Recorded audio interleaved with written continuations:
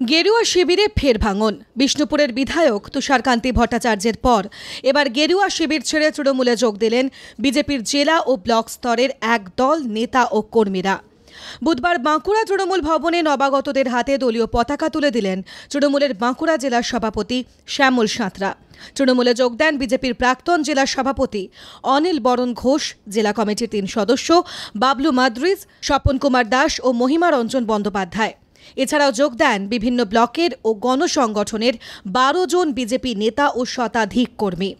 তৃণমূলের জেলা সভাপতি শ্যামল সাঁতরা বলেন, বিজেপি মানুষের পাশে নেই, গরিব মানুষের জন্য তারা কোনো কাজ করেনি। বিজেপির পতাকা ছুঁড়ে ফেলে দিয়ে আজকে মমতা বন্দ্যোপাধ্যায়ের আদর্শ উন্নয়নে অনুপ্রাণিত হয়ে তৃণমূল কংগ্রেসের পতাকা তারা আজকে গ্রহণ করলেন। তার একটাই উদ্দেশ্য বিজেপি গরিব মানুষের সাথে নেই, সাধারণ মানুষের পাশে নেই।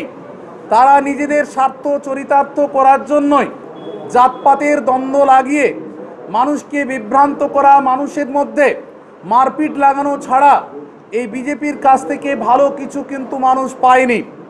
বিজেপির প্রাক্তন জেলা সভাপতি অনিল বরণ ঘোষ এদিন তৃণমূলে যোগ দিয়ে বলেন, বিজেপি দলের অভ্যন্তরে কোনো গণতন্ত্র নেই। একতরফাভাবে কেন্দ্র সরকার জোর করে জাতীয় শিক্ষানীতি চাপিয়ে দিয়েছে। বর্তমানে বিজেপির যে গণতন্ত্র, দলীয় গণতন্ত্র, সেই দলীয় গণতন্ত্র নষ্ট হয়ে গেছে।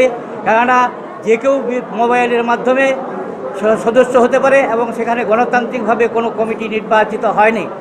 দ্বিতীয়ত আমি একজন শিক্ষক হিসাবে, যেদিন বা সারা ভারতবর্ষে জাতীয় শিক্ষানীতি ঘোষণা হলো, আমি একজন শিক্ষা, শিক্ষক হিসাবে প্রতিবাদ জানাই যে রা কোনো রাজ্যের সঙ্গে আলোচনা না করে এককভাবে গণতান্ত্রিক গণতন্ত্র পদ্ধতিকে ভায়োলেট করে আজকে সারা ভারতবর্ষে যে যুক্ত কাঠা পরিকাঠামোয় যে জাতীয় শিক্ষানীতি ছিল, সেই জাতীয় শিক্ষানীতিকে এককভাবে ডিক্টেটরশিপের মতো ঘোষণা করল এবং এই প্রতিবাদ জানানোর জন্য একটা জায়গার দরকার এবং আমি মনে করি এটা বর্তমানে বাংলায় তৃণমূল কংগ্রেস এইটা প্রতিবাদ করছে। পাল্টা বিজেপি সাংসদ সুভাষ সরকারের বক্তব্য, অনিল ঘোষ নিজের উন্নয়নের জন্যই দলত্যাগ করেছেন। সমাজের উন্নয়ন করা ওনার কোনো এজেন্ডা নয়। ওনার নিজস্ব উন্নয়নের এজেন্ডাতে উনি তৃণমূলে গেছেন।